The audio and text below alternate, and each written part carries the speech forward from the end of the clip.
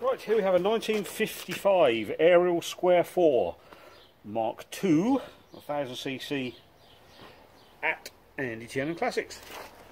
Hi Peter. Nice little motorbike we sold a good few years ago. Gentleman has spent bucket loads on it. Yeah.